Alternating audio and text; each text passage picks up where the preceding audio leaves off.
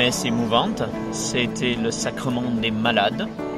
Nombreux étaient ceux qui l'ont reçu et on a senti une vive émotion. Ici à Lourdes, recevoir ce sacrement, c'est pas banal. On se souvient que Bernadette a été elle aussi malade et les pèlerins viennent chercher, comme Bernadette, réconfort auprès de la Vierge Marie et surtout du Seigneur en recevant ce sacrement qui leur donne des forces. Les malades tout au long de- du pèlerinage. Bah, de la joie parce qu'au final, euh, de voir des, des personnes euh, comme ça qui, qui essaient de se battre contre la maladie, etc., et c'est- je trouve ça beau. Puis elles sont contentes euh, de nous voir, les jeunes, la nouvelle génération, les aider. C'est toujours un temps très fort pour ces jeunes qui sont parfois très loin de la foi. Certains ne sont même pas baptisés. On a, c'est le cas cette année, il y a une jeune fille non baptisée.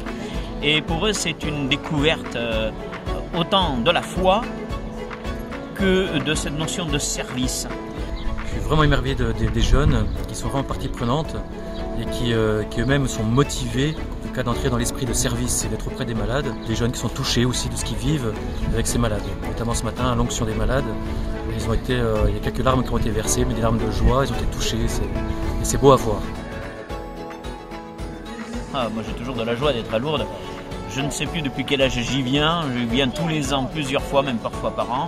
Euh, Lourdes, c'est c'est le rendez-vous que nous donne Marie. Voilà, elle avait, comme l'a bien dit notre évêque, Marie a demandé qu'on vienne ici à Lourdes en procession. Voilà, et on y vient. Et on y vient pour y recharger ses batteries, pour y reprendre des forces auprès de Marie. Et ensuite, comme nous a dit aussi notre évêque, il faut repartir.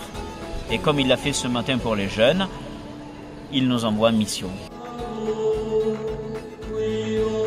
On prie ici à Lourdes quand on vient en diocèse, que pas pour les gens qui sont présents au pèlerinage diocésain. On prie pour tout le diocèse. Pour ceux qui n'ont pas pu venir pour X raisons, il y a plein de raisons qui ont peut-être empêché quelqu'un de venir. Euh, et on prie aussi pour tous les habitants du Cantal, sans exception. Non, notre souhait, bien sûr, c'est que ceux qui sont venus ici à Lourdes puissent témoigner, comme l'a dit l'évêque ce matin pour les jeunes, puissent témoigner de l'expérience qu'ils ont vécue pour donner envie d'y venir. Tous les ans, il y a ce rassemblement diocésain. Le diocèse vient ici au pied de Marie. Ceux qui verront cette vidéo, eh bien, qu'ils n'hésitent pas à venir.